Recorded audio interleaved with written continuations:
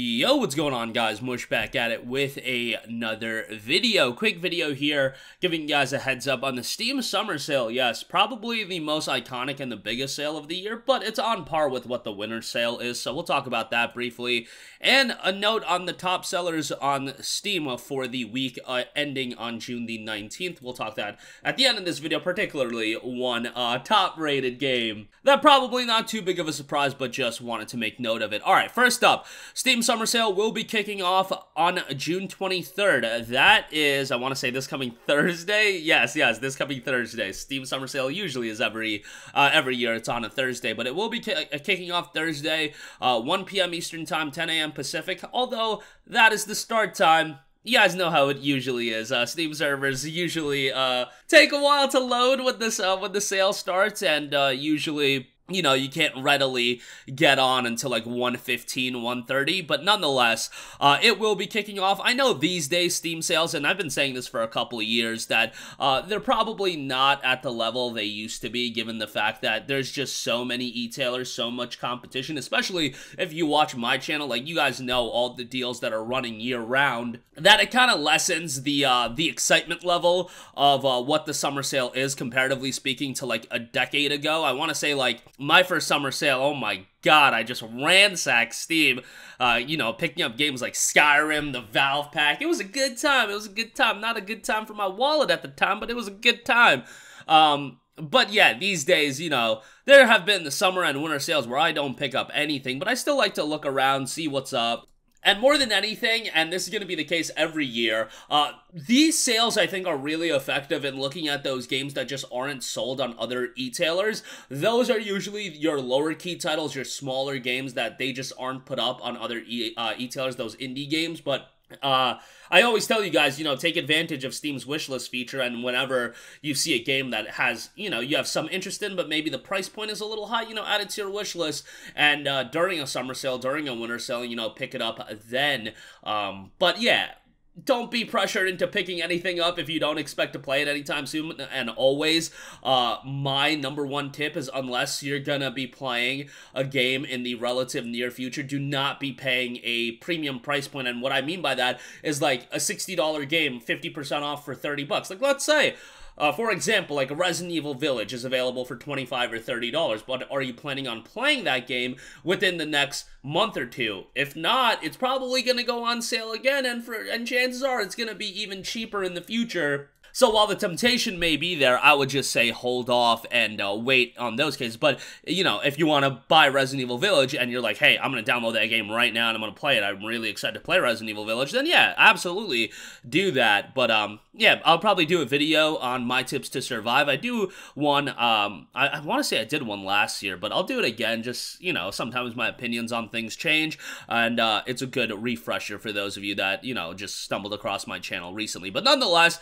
It'll be a good time, and if you're the kind of person that always just buys your games on Steam, it's a very good time for you. I know a lot of people only buy their games on Steam so they can utilize features like Steam Refund and whatever the case may be or they just feel more comfortable buying their games on Steam. They have Steam Wallet credit. Again, whatever the deal is, it will be a good time and uh, a lot of deals will be had. Remember, as is the case uh, with every year since a while ago, uh, all the deals are just live right out the gate. Um, back in the day, you had things like daily deals and flash sales that definitely made the sale more fun, but at the end of the day, it probably wasn't the most effective thing to do. They want to make the most money they can, and having all the deals up uh, for the entire duration is probably the best way to go. Especially in the flash deal and daily deal era, you had people buying games and then them being a daily deal or a flash deal and having an even deeper discount. And uh, yeah, that was a little bit of a nuisance. So just, you know, eases up everything and I think that is the most effective way to do it. Is the most fun? Not not not in my opinion, but who cares about my opinion. Moving on from that, I do want to take a look at the Steam top sellers for the week ending on June 19th as noted on SteamDB. Number 1 was Steam Deck, but number 2 was Final Fantasy VII Remake Intergrade.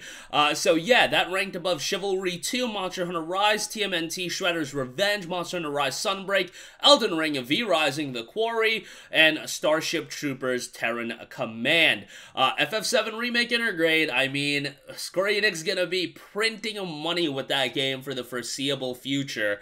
Uh, you know, $49 is a steep price point, but given what you're getting, a relatively lengthy JRPG, and you're getting the intermission expansion. Um, it's not a horrible deal but the game for uh, GMG XP subscribers or members, excuse me, uh, as I mentioned in an earlier video today, you can get it for 39 and change, and that I think is a really great deal. Like if that if this game launched on Steam at 39 and change, I actually think people would have been really happy with it, and um, you know would have been a little bit more passing on the price point.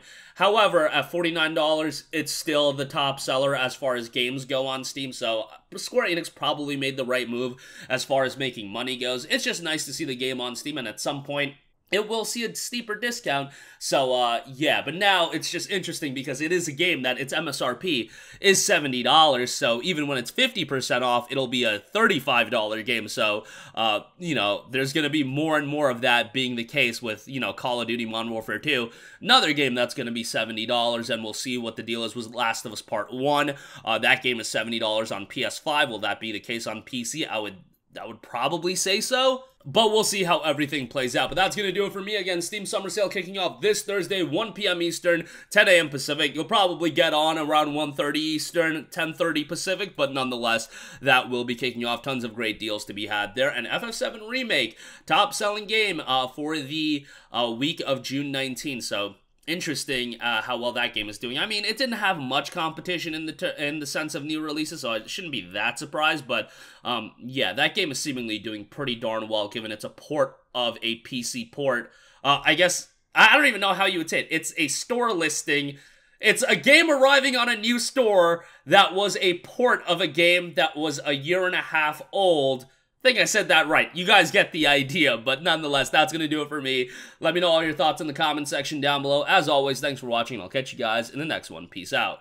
Hey, what's going on guys? Mush here again. Hope you enjoyed the video. As you guys might know, YouTube's notification system is sometimes a little bit wonky, even if you're subscribed to the channel. Maybe you're not abundantly aware that I uploaded a video to remedy that situation. Make sure you hit the bell notification button. This way, whenever I upload a new video, and I try to upload as consistently as possible, you will be notified directly of the upload, and you can watch it as soon as it goes live. I would really appreciate if you guys hit that button so you can stay up to date with all of the content I'm posting. But as always, guys, thanks for watching, and I'll catch you guys in the next one. Peace out.